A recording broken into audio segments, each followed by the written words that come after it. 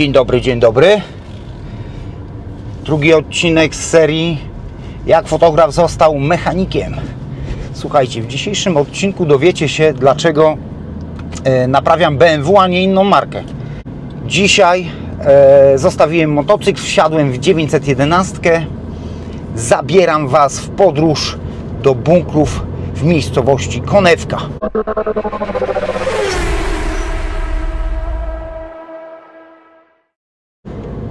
Tak naprawdę ten odcinek powstał e, dlatego, że montując poprzedni odcinek zauważyłem, że obiecałem Wam, że opowiem dlaczego naprawiam markę BMW. No i zabrakło mi tego materiału i tak naprawdę pomyślałem sobie zrobię drugi odcinek. Tamten i tak e, wyszedł niecałe 30 minut, więc postanowiłem zrobić drugi. No słuchajcie, jak to, praw, jak to każdy świr motoryzacyjny yy, myśli o BMW. Nawet jak nie ma BMW, to myśli o BMW. I słuchajcie, moim pierwszym samochodem był Ford Granada, yy, ale zawsze myślałem o BMW. Później przesiadłem się na Mercedesy i cały czas myślałem o BMW.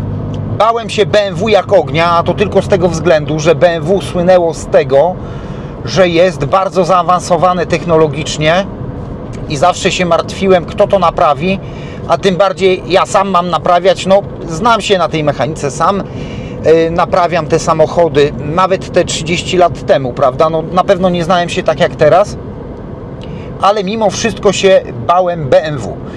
No ale słuchajcie, jak już mieszkałem w Warszawie i byłem tym żołnierzem zawodowym, miałem jakąś tam ustabilizowaną sytuację materialną już, no to gdzieś tam zajeżdżałem do komisów i gdzieś tam kręciły mnie te BMki. Największe wrażenie zawsze robił na mnie rekin, czyli 635 CSI E24. Jak widziałem taki samochód na mieście, to normalnie miałem ciary. I co? No to był drogi samochód wówczas. Teraz też jest drogim samochodem, ale myślę, że jest bardziej dostępny. No bo taką E24 która jest jeżdżąca, która no nie jest idealna, ale jest w pełni sprawna, no to myślę, że jakieś 60 tysięcy, 70 tysięcy trzeba przeznaczyć i można takim samochodem jeździć. Już nie mówię o egzemplarzach za 100, 150 czy 200 tysięcy, no to są już takie samochody kolekcjonerskie, że tak powiem. Ale wówczas to były samochody bardzo drogie. No, no słuchajcie, jeżeli one były robione do 88 roku, a ja o takim samochodzie myślałem 30 lat temu, no to te samochody były w miarę świeże, także to no, była suma na pewno nieosiągalna. Ale yy, była siódemka, która była podobna do E24 z wyglądu przynajmniej, no ale była czterodrzwiowa, była to limuzyna i był to samochód, który też mi się podobał. Tak więc e, słuchajcie, pojechałem kiedyś do komisu i zobaczyłem taką właśnie siódemeczkę w złotym kolorze. Od razu mi się przypomniał kawałek Lady Punk. Odjechało złote, złote BMW u Maksyma w Gdyni, także e, gdzieś tam to wszystko takie kultowe, tym bardziej, że jestem fanem zespołu Lady Punk. Przynajmniej byłem kiedyś, teraz to już, teraz to już nie jestem jakimś tam takim zagałżałym fanem. Lubię, ale jak byłem nastolatkiem, no to w moich czasach Lady Punk, no to był zespół bardzo taki na topie. E, w każdym razie, słuchajcie, przejechałem się tą siódemką. Był, był, ona była z 79 roku, oznaczenie 733i na tak zwanych baranach w trzybiegowym automacie. No i słuchajcie, ja się przejechałem tym samochodem, a wówczas miałem Mercedesa 200 yy, dwulitrowego, czyli to był 200e.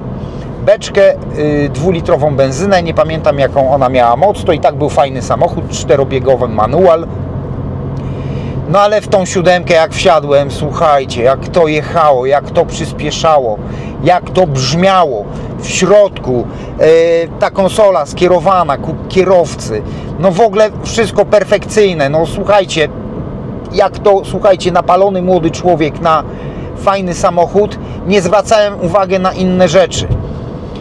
E, No słuchajcie, zamieniłem ten samochód na beczkę e, z jakąś tam dopłatą. Dostałem jeszcze komplet felg aluminiowych. Jak się później okazało, były to BBS-y, RS-y trzyczęściowe. E, One były popękane w fatalnym stanie. Ja wówczas nie wiedziałem nawet, co to jest warte. I tak naprawdę, słuchajcie, e, te felgi wystawiłem na Allegro. Wówczas na Allegro sprzedawało się tego typu rzeczy licytując. Ja nie wiedziałem ile za to wziąć, więc wystawiłem na licytację. No i słuchajcie, się zaczęło. Jak się zaczęli bić o te felgi. Ja te felgi sprzedałem w takiej cenie, w której bym się nigdy nie spodziewał. Gość przyjechał, zapłacił, zabrał. No ale po pewnym czasie dowiedziałem się, co to było warte i teraz słuchajcie, tego typu felgi od razu jakbym miał, to bym oddał do renowacji, do naprawy. Słuchajcie, dzisiaj są takie technologie, że takie felgi można by bez problemu naprawić. Ale do brzegu. Yy, No i słuchajcie, okazało się, że ten samochód, yy, ta siódemka była strasznie dojechana. Oznaczenie E23, bo nie wiem, czy to powiedziałem.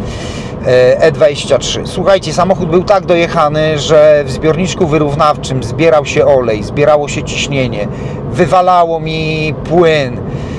Ten samochód dymił, brał olej. Kurde, no powiem Wam, katastrofa. Pierwsza moja BMK i pierwsza wtopa w ogóle motoryzacyjna. Największa motoryzacyjna wtopa. Dramat, słuchajcie. Ja tym samochodem e, jeździłem gdzieś właśnie na e, robić zdjęcia, więc musiałem gdzieś tam na czas dojechać. Nieraz nie dojechałem, bo ten samochód po prostu po drodze wywalał płyn, gotował się, działy się cuda. E, no słuchajcie, no, mimo to, że potrafiłem sobie zmieniać klocki, tarcze, jakieś tego typu rzeczy, nawet chłodnice bym wymienił i tak dalej, no ale remont silnika no to była wyższa szkoła jazdy wtedy, tym bardziej BMW, więc nie miałem zbytnio o tym e, pojęcia. E, Tata nie mógł mi w tym pomóc, bo tata e, no, mieszkał daleko, więc byłem sam z tym wszystkim. E, Wówczas jeździło się na Strażacką, słuchajcie, na ulicę Strażacką w Warszawie, gdzie była autokasacja. I tam na tej autokasacji można było kupować różne części. Do BMW, do Mercedesów, no było tego naprawdę od groma. W każdym razie tam e, pracował taki kolega Irek, e, który polecił mi warsztat, który specjalizuje się w BM-kach. Więc ten samochód oddałem do tych majstrów i te majstry, że tak powiem, zrobiły mi remont e, silnika. E, nie pamiętam ile zapłaciłem wtedy, no ale to były grube pieniądze. Tak naprawdę po części e, ci panowie mechanicy jeździli do Niemiec, żeby kupić pierścienie, żeby kupić uszczelki pod głowicę. To były takie czasy, że, że nie było to aż tak dostępne. Hurtownia typu Intercars to dopiero raczkował, więc trudno było kupić do BMK nowe części typu uszczelki, typu pierścienie, panewki, więc e, to wszystko zostało sprowadzone gdzieś tam z Niemiec. E, Silnik został wyremontowany. Ja tym, e, ja tym samochodem po remoncie jeździłem bardzo delikatnie, ale okazało się, że ten silnik podczas docierania zaczął brać duże ilości oleju. Oddałem ten silnik na reklamację. Panowie stwierdzili, że, ym, że nie zmierzyli cylindrów i cylindry były jajowate. No słuchajcie, jak można zrobić remont i właśnie tego nie zrobić? Założyli pierścienie, cylindry były jajowate, no i tak naprawdę guzik z pętelką. Cała kasa, cały remont, wszystko poszło po prostu w błoto. Po czym przyjęli ten samochód na reklamację, ale tam jeszcze e, powiedzieli, że muszę partycypować e, w kosztach, ponieważ to, tamto, siamto, owamto. No dobra, odebrałem samochód. No i co się okazało? Słuchajcie, oni włożyli drugi silnik, przekuli numery, a kapnąłem się, ponieważ e, silnik, e, ten, który miałem, miał oznaczenie 3.0 łamane przez 3.3.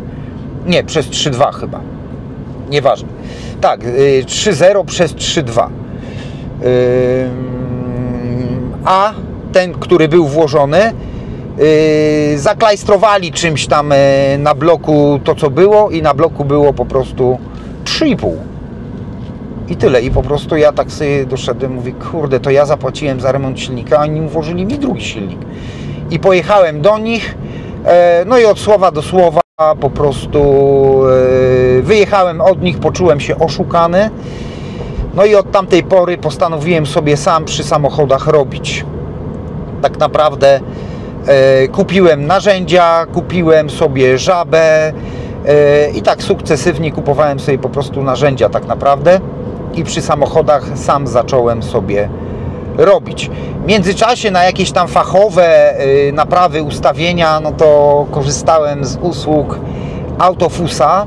Wtedy Autofus nie miał jeszcze autoryzacji BMW, znaczy jeszcze. To było tak, że miał autoryzację, później jej nie miał i w momencie, kiedy autoryzacji nie miał y, BMW, to miał autoryzację Renault, ale po cichu naprawiali chłopaki y, BMK, ponieważ tam pracowali mechanicy, którzy się na tym znali.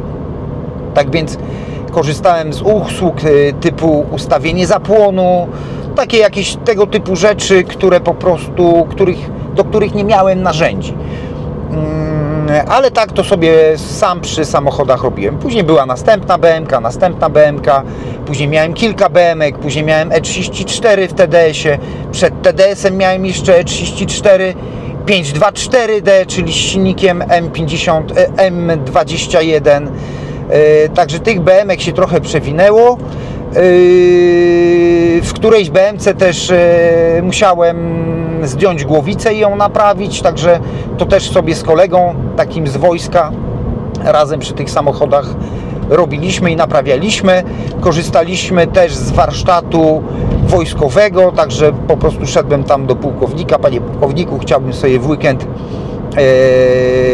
w warsztacie wojskowym coś naprawić, także tam mogłem sobie skorzystać z kanału i tym sposobem po prostu naprawiałem te BMki i pod koniec służby yy, pod koniec służby już właśnie tak naprawdę naprawiałem samochody kolegom, znajomym, bo wszyscy wiedzieli, że się znam na BMkach, a to były też takie czasy, że tych warsztatów takich, yy, które specjalizują się w BMkach nie było, tak więc E, po prostu jak już naprawiałem te samochody, poszedłem na emeryturę, wynająłem sobie warsztacik, no i w tym warsztaciku po prostu świadczyłem usługi. E, założyliśmy warsztat po prostu taki normalny, legalny, zarejestrowany i tak dalej, także żeby było wszystko zgodnie z prawem. No i tyle. I później z tego garażyku musiałem wynająć większy warsztat, ponieważ e, tych samochodów było od groma. Na początku sam pracowałem, e, w warsztacie sam naprawiałem, wymieniałem sprzęgła, wymieniałem hamulce, belki, tuleje belek, e, tego typu rzeczy. E, no później zaczęły przyjeżdżać coraz nowsze samochody, więc e, musiałem nauczyć się diagnostyki, więc kupiłem sobie komputer, e, ściągnąłem INPE i tak naprawdę na początku INPą diagnozowałem samochody. Później poznałem takiego Kubę, który był po Politechnice i on troszeczkę, nie troszeczkę, no bardzo dobrze znał się na elektronice i zrobił mi wirtualnego GT1 i głowicę do tego GT1, także na początku zrobił mi szkolenie, Zrobił mi szkolenie też takim programem Progman chyba się nazywał, jak dobrze pamiętam, żeby programować też sterowniki, żeby na przykład zmieniać, że w samochodzie zamykają się drzwi, jak się ruszy z jakąś prędkością, żeby były automatyczne światła, tego typu rzeczy. Właśnie światła. Jechałem bez świateł. 911 mam to wszystko manualne. Także GT1 diagnozowałem i później co? Później zaczął ze mną pracować e, taki Łukasz, później e, wujek miał swój jakiś tam biznes, który po prostu upadł e, i wujek nie miał co robić, więc wujka zatrudniłem w warsztacie i wujek też zaczął naprawiać samochody. Tak naprawdę naprawa wujka polegała na tym, że rozbierał i składał te samochody i tak sukcesywnie coraz większe roboty wujek robił, ja robiłem coraz większe roboty i pomału tak razem uczyliśmy się tych BMek i z tymi BMkami zaczęliśmy obcować. Później zatrudniłem kolejne osoby, później e, przenieśliśmy się e, z jednej strony Raszyna na drugą stronę Raszyna. E, no i tak, i później, później wujek odszedł z takim jednym pracownikiem, otworzyli sobie warsztat a my sobie dalej pracowaliśmy. Ja wtedy zatrudniłem Sebastiana jako młodą osobę. E, Sebastian e, też zaczynał się uczyć tych BMK, także wszystkiego od początku nauczyłem i tak naprawdę na tę chwilę, słuchajcie, ACS jest wylęgarnią specjalistów BMW. He, kurde, do czego to doszło? Także, także wszyscy, którzy pracowali e, u mnie w warsztacie, większość, którzy pracowali u mnie w warsztacie, tych BMX się nauczyli w ACS-ie. Tak naprawdę było dwóch pracowników, którzy, którzy przyszli do mnie i już e, znali się na BMK-ach bądź pracowali w warsztatach e, specjalizujących się w BMW, no ale jakoś nie było nam po drodze i te osoby pracowały tylko chwilę. Także z perspektywy czasu wolę zatrudnić kogoś, kto u mnie w warsztacie się nauczy fachu, a jak odejdzie, no to trudno, słuchajcie, to trzeba iść do przodu i sobie jakoś z tym radzić. E, Kamil, jak wiecie, też jest, e, nie jest mechanikiem z zawodu, wszystkiego się nauczył w warsztacie. Tak więc e, taka to jest historia, dlaczego naprawiam markę BMW. Takim to sposobem dowiedzieliście się na temat tego właśnie, dlaczego naprawiam BMW. Także to był taki przypadek ze względu na to, że BMW mi się psuło i gdzieś tam e, zostałem oszukany. E, znacie też historię, jak to się stało, że fotograf jest mechanikiem. Możecie też znaleźć na kanale odcinek rozwoju firmy ACS. Eee, tak jeszcze ACS, Auto Classic Service. Dlaczego? Dlatego, że właśnie zaczynałem od rekinów i na początku naprawiałem tylko e, klasyczne BMki e, ze względu na to, że na nich się znałem. E, poznałem się właśnie na rekinach, e, wiedziałem jak je naprawiać i tak naprawdę do dzisiaj bardzo dużo rekinów do nas przyjeżdża, bo mało który warsztat specjalizujący się w marce BMW chce przyjmować samochody typu rekiny. W ogóle większość, yy, większość warsztatów BMW typu Hypertech, typu mm, Andrew Performance, typu, mm, typu raptowny, aczkolwiek raptowny też jakieś tam starsze auta przyjmuje, tylko ja tam u niego nie widziałem, te, te, nawet E34, ale powyżej 10 lat, czyli typu Hypertech, typu e, Andrew Performance, oni nie przyjmują samochodów poniżej 10 lat, czyli najstarszy, najstarszy yy, znaczy, yy, tak, poniżej, tak, powyżej 10 lat, czyli yy, najstarsze auta 10-letnie i na takich samochodach bazują.